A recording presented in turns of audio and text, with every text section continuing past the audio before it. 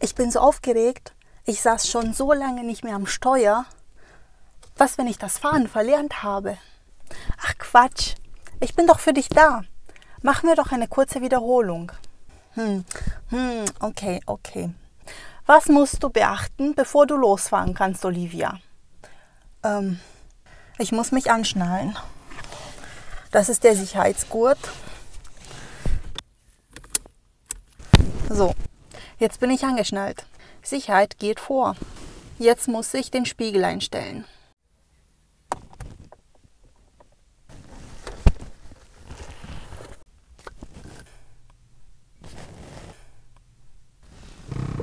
Was machst du denn?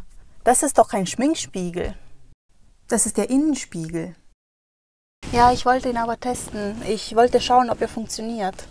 Also, ob ich nachher den Verkehr beobachten kann. Ja, okay, okay, ich stelle ihn nochmal ein. Jetzt kann ich wunderbar den Busch hinter uns sehen. Und nachher, wenn wir auf der Straße fahren, könnte ich sehr gut die Autos hinter uns sehen. Hm, die Außenspiegel muss ich auch einstellen. Ach, ich muss aussteigen.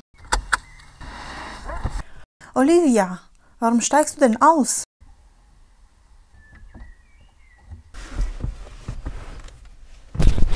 Um die Außenspiegel einzustellen, musst du bloß an einem Rädchen drehen. Das befindet sich im Auto. Du musst doch nicht aussteigen. Ach, wie praktisch. Wieso hast du es nicht früher gesagt? Naja, egal. Jetzt sind sie aber eingestellt. Oh, den Sitz muss ich noch einstellen. Er ist zu weit hinten und ich komme nicht an die Pedale. So, jetzt komme ich sehr gut an die Pedale. Das Lenkrad muss ich aber nicht einstellen. Es ist perfekt so, wie es ist. Aber wenn es nötig wäre, könnte ich es einstellen. Ich könnte es hochschieben, aber auch runterschieben. Ich könnte es auch zu mir ziehen.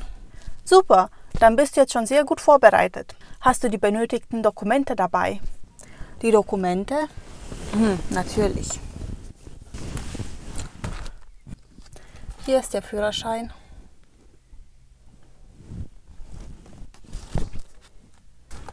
Und hier die Zulassungsbescheinigung, auch Fahrzeugschein genannt. Jetzt können wir aber losfahren. Ah, Moment, du musst dich noch anschnallen. Ich möchte wegen dir keine Probleme haben. Gut beobachtet. Ich schnalle mich jetzt dann auch an.